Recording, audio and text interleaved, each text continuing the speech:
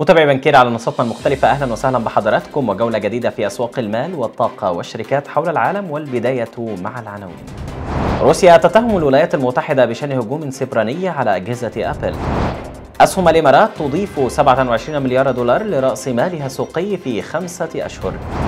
رسميا أجاي بنجا يتولى رئاسة البنك الدولي.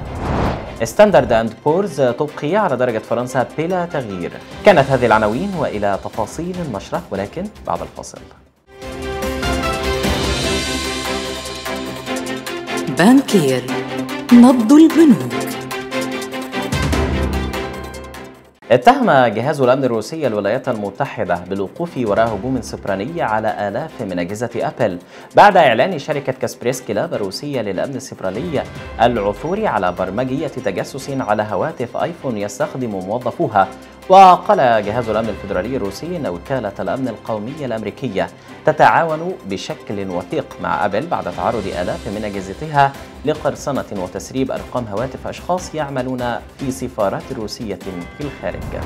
أضافت أسواق الأسهم الإماراتية ما يقرب على 100 مليار درهم أي حوالي 27.3 مليار دولار لرأس مالها السوقي خلال الخمسة أشهر الأولى من العام الحالي مدعومة بزيادة الطلب جانب المستثمرين الدوليين إضافة إلى الإدراجات الجديدة.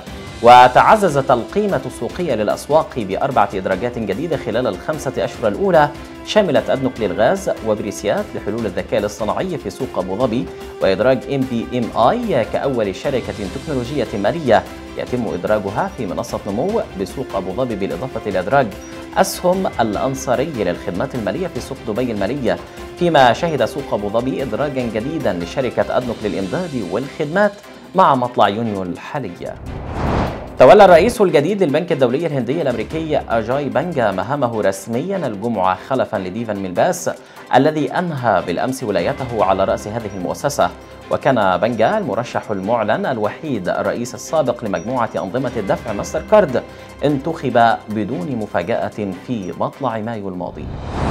أبقت وكالة التصنيف الائتماني ستاندرد أند بورز الجمعة على درجة فرنسا AA بلا تغيير مستندة إلى حجج باريس التي تشير إلى تخفيضات مقررة في العجز والإصلاح الأخير لنظام التقاعد الذي تريده حكومة إيمانويل ماكرون وقالت الوكالة إن قرارها هذا يرجع بشكل رئيسي إلى مراجعة لاستراتيجية تعزيز الميزانية الحكومية مشيرة إلى نقاط إيجابية إلى جانب إصلاح التقاعد. بينها الموعد المقرر لإنهاء المساعدات في مجال الطاقة مع تراجع أسعار المحروقات ودرجة EA من أعلى فئات سلم التصنيف وتدل على قدرة قوية على سداد الديون. وفي أوروبا يعد تصنيف ألمانيا وهولندا EA الأعلى بين الدول وقد خسرته فرنسا في 2012 متابعي بنكير على منصاتنا المختلفة إلى هنا تنتهي نشرتنا الإخبارية.